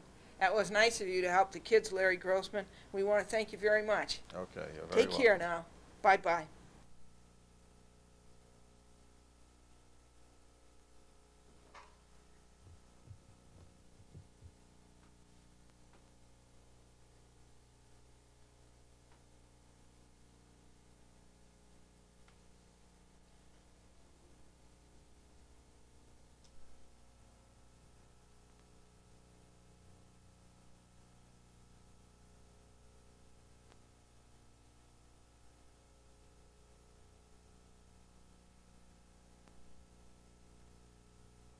have a career in retailing. I'd like to have you meet, uh, by way of telephone from Dallas, Texas, a director of the Southland Corporation, Mr. Jody Thompson, who, uh, in the Southland Corporation, among other uh, companies and products, owns the 7-Eleven convenience stores and the great Slurpee drinks that I'm sure you've had. Hi, Jody. How you doing? Oh, very good, thanks. It was so nice of you to call us up from Dallas to do this interview to help the boys and girls. You were born where, Jody? In Dallas. Uh-huh, and you grew up there. And, and you went to school there. Did you go to University of Texas? That's a good one. And what did you take, Jody? You took general business? And that turned out to be a pretty good major for what you ended up doing, right? Uh-huh. And what was your first work out of college, Jody? No, did you really? Uh, were you a trader or a gopher or a... in research? Uh, did you like that? Uh-huh. And so after Goldman Sachs, where did you go?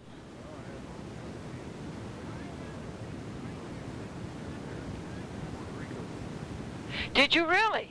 Uh-huh. Yes, I did you like all that? Yeah. And then after Slurpee in Mexico and Puerto Rico, where did you go, Jody Thompson? 1971. Oh, you did? Uh-huh. And what did you do there, Jody?